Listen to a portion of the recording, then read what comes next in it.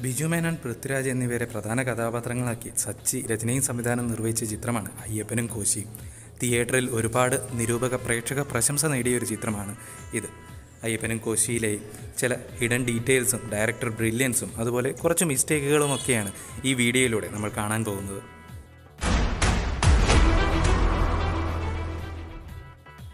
സിനിമയുടെ തുടക്കത്തിൽ തന്നെ കാണിക്കുന്ന ഈ ഒരു കഥാപാത്രം ഇദ്ദേഹമാണ് മുണ്ടൂർ മാടനെന്നും അതാണ് ബിജു മേനോന്റെ കഥാപാത്രമെന്നും പിന്നീട് സതീഷ് എന്ന പോലീസുകാരൻ കോശിയോടായി പറയുന്നതായി കാണിക്കുന്നുമുണ്ട്. അദ്ദേഹം കൈകൊണ്ടിടുന്ന ആ ലോക്കും ഈ സീനിൽ തന്നെ കൃത്യമായിട്ട് കാണിച്ചു തരുന്നുമുണ്ട്. കോശിയുടെ കഥാപാത്രത്തെ അട്ടപ്പാടിയിൽ വെച്ച് പോലീസ് അറസ്റ്റ് ചെയ്യുന്നതും അത് തുടർന്നുള്ള സംഭവ വികാസങ്ങളും നടക്കുന്നത് ഡിസംബർ ഇരുപതാം തീയതി അതായത് രണ്ടായിരത്തി പത്തൊമ്പത് ഡിസംബർ ഇരുപതിനാണ് എന്നുള്ള കാര്യം സംഭാഷണ ശകലങ്ങളിൽ നിന്ന് വ്യക്തമാണ്. കൂടാതെ ആ പോലീസ് സ്റ്റേഷനിലെ കലണ്ടറിൽ നിന്നും അത് കൃത്യമായി വ്യക്തമാവുന്നുമുണ്ട്.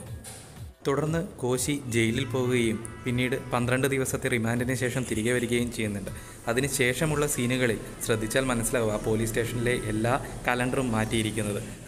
ഈ കാര്യങ്ങൾ കൃത്യമായി ഡീറ്റെയിൽ ചെയ്യാൻ സംവിധായകനും ഇതിന്റെ ക്രൂയും ശ്രമിച്ചിട്ടുണ്ട് എന്നുള്ളത് ഈ സീനുകളിൽ നിന്ന് തന്നെ വ്യക്തമാണ്. ഇനി പറയാനുള്ളത് ചിത്രത്തിന്റെ നെഗറ്റീവുകളെ പറ്റിയാണ്. വലിയ മിസ്റ്റേക്കുകളൊന്നുമല്ല എന്നാലും പറയുകയാണ്. ഈ സീനിൽ കാണുന്ന തൊപ്പിയുടെയും ഗ്ലാസിന്റെയും പൊസിഷൻ ഒന്ന് ശ്രദ്ധിക്കുക. തൊട്ടടുത്ത സീനാകുമ്പോഴത്തേക്ക് ആ തൊപ്പിയും ഗ്ലാസും സ്ഥാനം മാറിയിരിക്കുന്നത് കാണാം.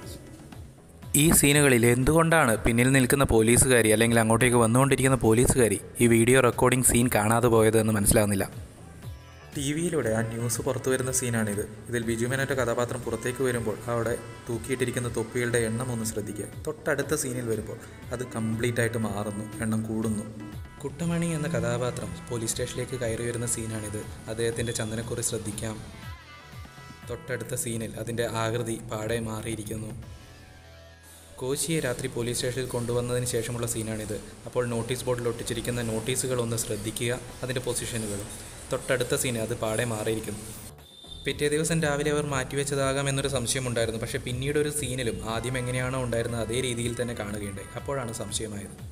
ചിത്രത്തിലെ നല്ലൊരു ഇമോഷണൽ സീനാണിത് ഈ സമയത്തുള്ള അന്നാരേഷ്മ രാജന്റെ കഥാപാത്രത്തിന്റെ മുഖഭാഗം സങ്കടമാണോ അതോ പുഞ്ചിരിയാണോ എന്നുള്ളൊരു സംശയം എനിക്ക് ബാക്കി നിൽക്കുന്നുണ്ട്. വണ്ടി ചെക്ക് ചെയ്യുന്നതിന് വേണ്ടി കോശിയെ വഴിയിൽ പോലീസുകാർ തടയുന്ന സീനാണിത് ഈ സീനിൽ വണ്ടിയുടെ പൊസിഷനും ആ കടയും ഒക്കെ ഒന്ന് ശ്രദ്ധിക്കുക. തൊട്ടടുത്ത സീനിലും അത് കാണാം. ആ ഇരിക്കുന്ന ആളെ ഒന്ന് നോക്കിക്കോളൂ. ഒരു പച്ച തോർത്ത് അല്ലെങ്കിൽ നീല തോർത്തൊക്കെ ഇട്ടിട്ടുള്ള ഒരാൾ തൊട്ടടുത്ത സീനിൽ പോലീസുകാർ പോയതിന് ശേഷമായ ആ മനുഷ്യനെ ഒന്ന് ശ്രദ്ധിച്ച വേറെ ഒരാളായി.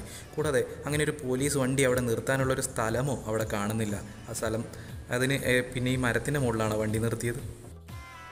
ക്ലൈമാക്സിലെ ഈ ഫൈറ്റ് സീൻ ഒന്ന് ശ്രദ്ധിക്കുക. പൃഥ്വിരാജിന്റെ കോശി എന്ന കഥാപാത്രം അയ്യപ്പനെ അയ്യപ്പന്റെ അതേ പൂട്ടിട്ട് പിടിക്കുന്ന ഒരു സീനുണ്ട്.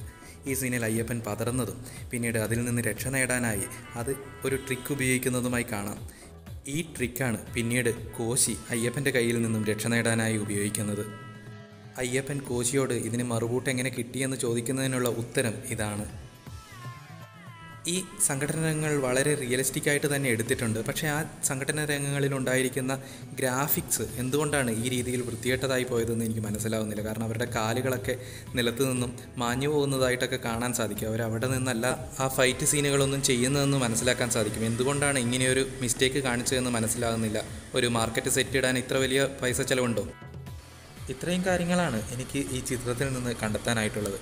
ഇതുപോലെ ഒരുപാട് ഹിഡൻ ഡീറ്റെയിൽസുകളും ഡയറക്ടർ ബ്രില്യൻസും മിസ്റ്റേക്കുകളും ഈ ചിത്രത്തിനുണ്ടാവാം. അവയിൽ ഏതെങ്കിലും നിങ്ങളുടെ കണ്ണിൽ പെട്ടിട്ടുണ്ടെങ്കിൽ അത് താഴെ കമന്റായി രേഖപ്പെടുത്താൻ ശ്രമിക്കുക. ഈ ചാനൽ ഏതെങ്കിലും തരത്തിൽ ഉപയോഗപ്രദമാവുമെങ്കിൽ സബ്സ്ക്രൈബ് ചെയ്യുന്നതിനും ബെൽ ബട്ടൺ ഇനേബിൾ ചെയ്യുന്നതിനും ശ്രദ്ധിക്കുക. വീണ്ടും മറ്റൊരു വീഡിയോയുമായി കാണാം. സപ്പോർട്ടുകൾക്ക് നന്ദി. ഇനിയും തുടരുമെന്ന് പ്രതീക്ഷിക്കുന്നു.